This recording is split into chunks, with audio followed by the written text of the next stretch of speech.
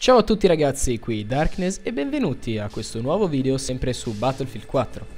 Oggi voglio parlarvi della SW40, un breve video dedicato a questa pistolina che ha una nuova arma da fianco, che è stata introdotta col DLC Naval Strike e che non è nemmeno difficilissima da sbloccare, se non sbaglio soltanto un paio di uccisioni con le RGO Impact. Le granate a impatto ne abbiamo due, fanno 80 di danno, è davvero facile fare uccisioni, quindi ce l'avrete in pochissimo tempo. Ora, questa si tratta, cioè di questa pistola è di nuovo una pistola double action, un revolver. Quindi avrà solo 6 colpi nel caricatore, un tempo di ricarica estremamente lungo e un ritardo sul colpo. È esattamente come era la Rex su Battlefield 3.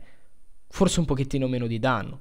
In ogni caso, un'arma davvero davvero ottima, un'arma da fianco davvero ottima. A differenza della eh, 44 Magnum e eh, della Rex di Battlefield 4 eh, non ha il ritardo sul colpo così esagerato. Nel senso, un ritardo c'è, ma è talmente minimo che ce ne accorgiamo appena e, fatta una, una volta che ci abbiamo fatto l'abitudine, sarà davvero un'ottima arma da usare.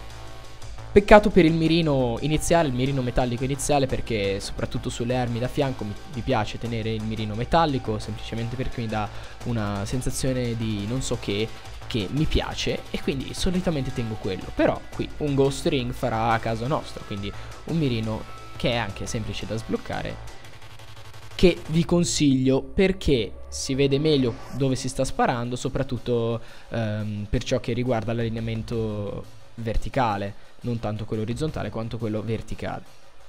Perché il problema principale del mirino iniziale eh, dell'SW40 è quello che non sappiamo mai se stiamo sparando troppo in alto, troppo in basso. Sappiamo soltanto se stiamo sparando troppo a destra o troppo a sinistra. Quindi sopra un tot di distanza faremo fatica a fare uccisioni.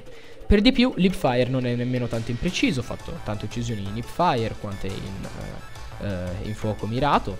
Uh, è un'ottima arma semplicemente perché essendo reattiva, anche se ha solo 6 colpi, mettendo in assegno già 3 faremo un'uccisione.